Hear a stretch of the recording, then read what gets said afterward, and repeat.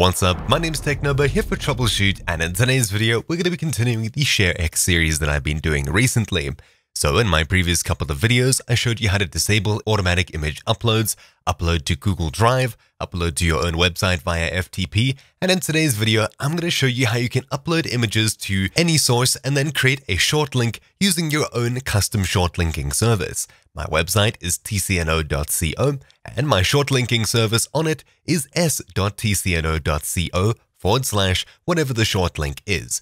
Of course, with the program, you can use bit.ly, etc, etc, but in today's video, I'm going to show you how to set it up to work with YOURLS, your own URL shortener. If you'd like to see how to set that up on your own website, check the description down below for a video I made on that topic. It runs through installing it, setting it up, configuring it, etc, etc. So assuming you have YOURLS already set up, simply open up ShareX and on the screen under the Destinations menu, simply find Destination Settings. Then we'll scroll down to the very bottom and you can see URL shorteners. We'll select YOURLS and in here we'll see API URL as well as signature.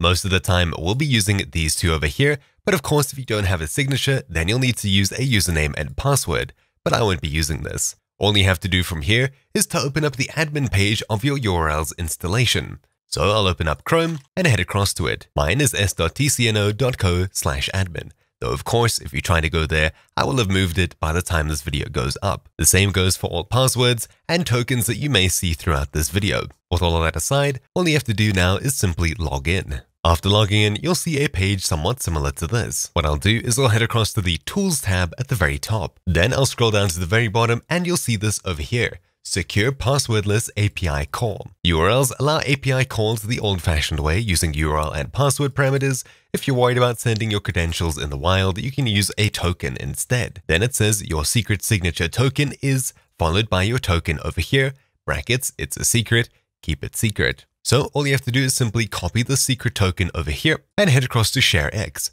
Then I'll be pasting it into the signature box over here. Then for API URL, all we have to do is head back to our YOURLS admin page over here. And as you can see, simple usage of the token. Here is an example. All we have to do is select from the beginning up to the end of the PHP file over here. For me, it's s.tcno.co slash yourls api.php. I'll simply copy it. Then I'll paste it into API URLs at the very top. Upon doing this, I can simply close out of the destination settings and I'll select after upload tasks. Then I'll click shorten URL. After we have this selected, I'll simply go ahead and make sure that I'll automatically upload the image as well. So after capture, I'll make sure to enable upload to image host. As for destinations, image uploader, I'll simply select where I want it to go, which for me is FTP, so it'll go to my website slash images.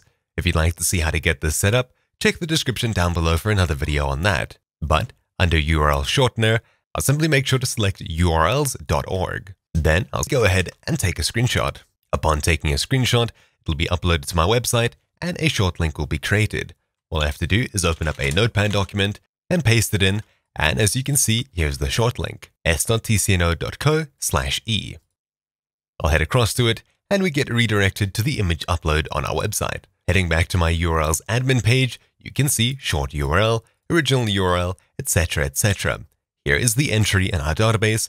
Over here, and we can simply remove it this way by clicking delete. And of course, that's about it. You can take as many screenshots as you want, they'll be automatically uploaded, and the short link will be copied to your clipboard basically immediately. Upon opening them up, you'll be redirected to where you actually uploaded them. As you can see, this link at the very top is a lot longer than s.tcno.co slash f. That's exactly why I own this short domain, and I've set up a URL shortener on it. But anyways, that's about it for this video.